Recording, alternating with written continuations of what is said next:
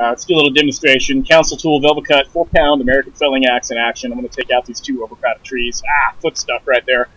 So coming in here, I'm going to give them a few whacks, make sure nothing's going to fall down on me. These are some small trees, but I still want to make sure the tops aren't going to snap off or branches that were stuck up in the wind uh, fall down on me as I'm uh, doing work on this thing.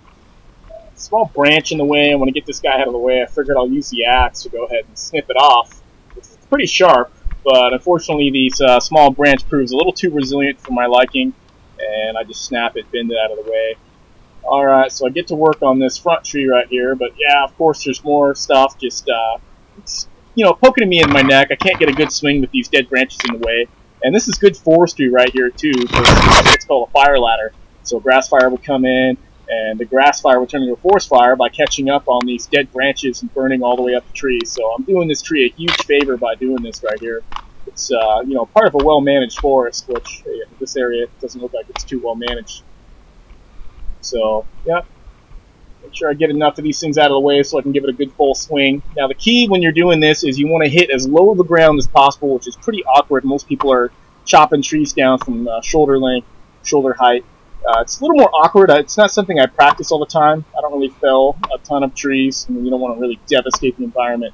So I'll give it a go. But yeah, that's the advantage of a 36 inch head, 4 pound head, excuse me, 36 inch half, 4 pound head, is you just give it a good slow swing and let the bit just sink into the wood. Uh, I think I missed a few times. I put a little nick in my edge. I, I totally need to level up my skill for sure. But smaller trees like this, you don't have to do a back cut. You can just uh, keep hitting it from the front until it goes, which I do. And there it goes, right there. Kind of a tall tree, but it's pretty small. Am I going to limit? Mm, nah, just move it out of the way. We'll go for the second one behind it. Again, these are kind of some overcrowded trees. This area is not missing them. Just kind of help uh, this area breathe a little more. So come in here, hit it again, make sure nothing's going to fall down on me. That's always the worst. And here we go. Again, as low to the ground as possible. I believe it was uh, 5 cents for every inch that was left up off the ground. if I was really good, I'd definitely be getting these uh, stumps a little bit lower too, but it's kind of the limits of my skill right now. Whoop, miss again. Another cool thing about a 36 inch shaft is that it's the safest. It's the safest axe to use because if you miss, it's just going to go straight into the ground and not into your feet, not into your knee or shin. So yeah, if you're learning, 36 inches is definitely the way to go. But this is what this axe was designed to do. It was designed to do stuff like you see right here. Fell trees. That's why it has that long haft. It's why it has that really thin bit, uh, the four pound head. It's designed for this. It's not designed for splitting wood or anything like that. So this is really where the Velvicut shines. It's not a log bucker either. So we're going to have to do a back cut on this one, I feel. And so I'm going to have to get this branch out of the way.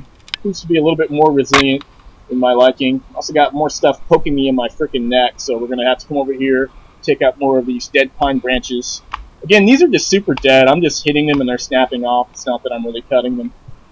Give them another uh, swing, snap it off. There we go.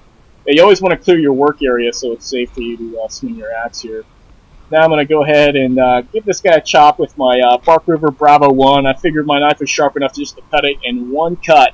So I come in here for it, and this branch proves to be even more resilient than that. I'm, you know, full force, not working, so then I'm like, okay, I'll just whittle it down.